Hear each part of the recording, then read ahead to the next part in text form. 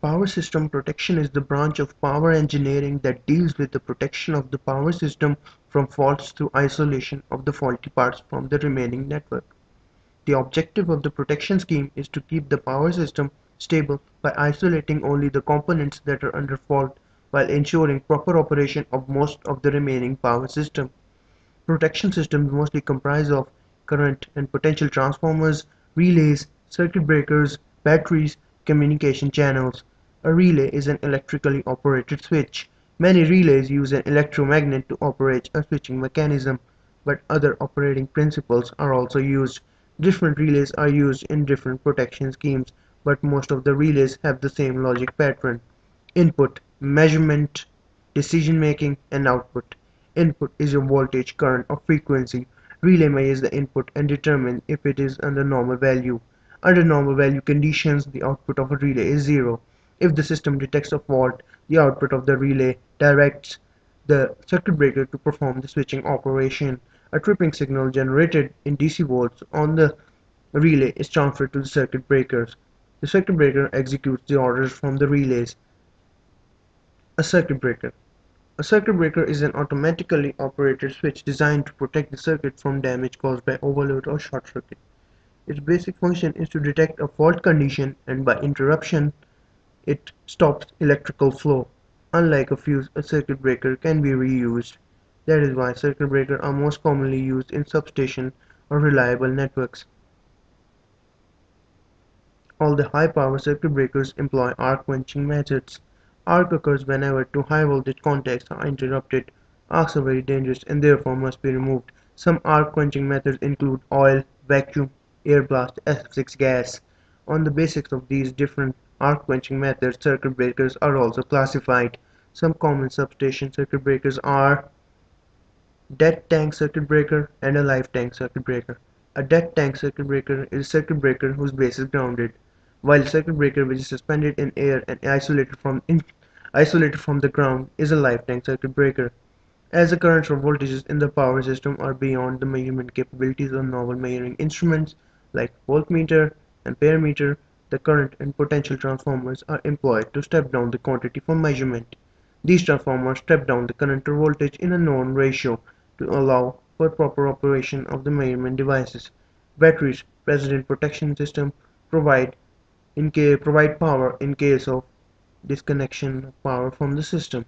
Communication channels allow for remote analysis of voltage and current values, and they also allow for remote tripping of equipment. Grounding Grounding is the intentional or accidental connection of some equipment or device to the ground. Grounding is done by digging pits and filling them with salts and charcoal. In summer, water is poured into these pits in order to decrease their resistance. Two types of grounding System grounding a grounding the neutral wire of the system involves actual grounding of a current carrying conductor usually called the neutral of a power distribution system. Equipment grounding in which the whole equipment is connected to the ground or placed at ground potential. The two grounding methods are solid grounding, grounding without any impedance connected between the wire and ground, impedance grounding, grounding with an impedance intentionally connected between the wire and ground. There are two types of impedance grounding. Resistance grounding, where a resistance is connected between the wire and ground. Inductance or capacitance grounding, where an inductor or capacitor is connected between the wire and ground. Both solid or impedance grounding schemes have their own importance. Impedance grounding in some cases has certain advantages over solid grounding. Resistance grounding is used for operating voltages that lie between 2.4 to 13 kV. Most sensitive industrial equipment like motors require resistance grounding to reduce the amount of fault current. Capacitance or inductance grounding is used for grounding of delta connected systems.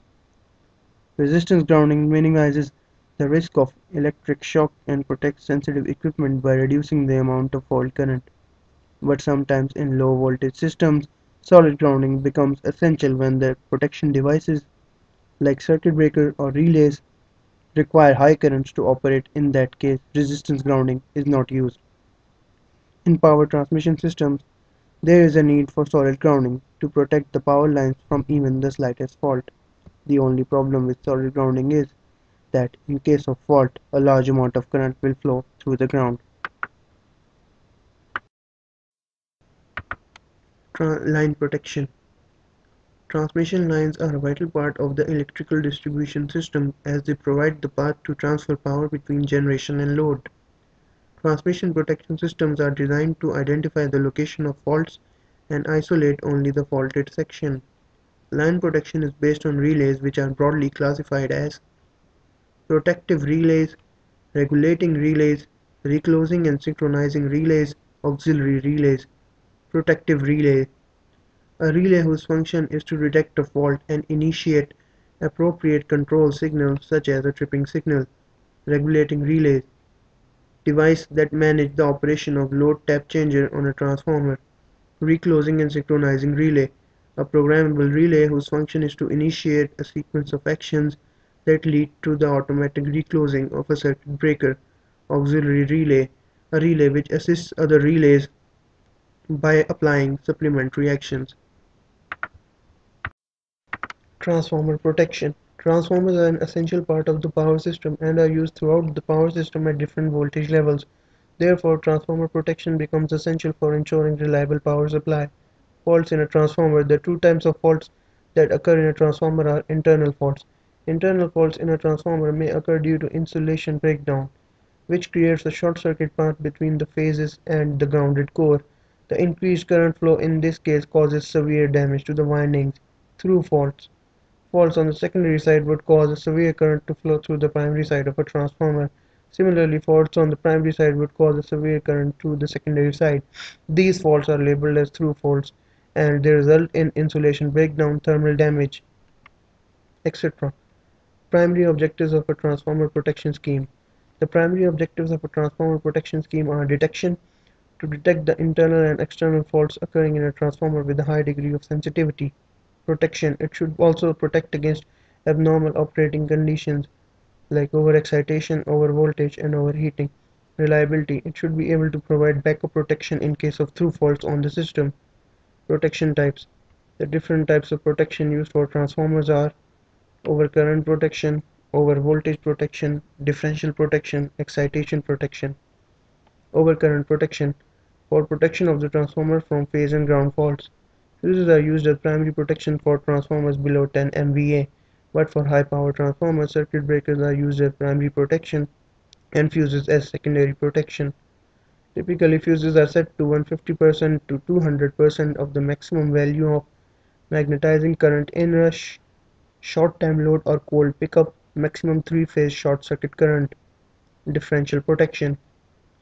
For a transformer under balanced condition, power in is approximately equal to power out. Differential protection is normally applied to transformers of 10 MVA and above, or depending upon its criticality. The following factors affect the differential current in a transformer and should be considered while applying differential protection. These factors can result in a differential current even under balanced power in and out conditions. These are magnetic inrush current, overexcitation, current transformer saturation, different primary and secondary voltage level, phase displacement in a delta Y. Differential relay.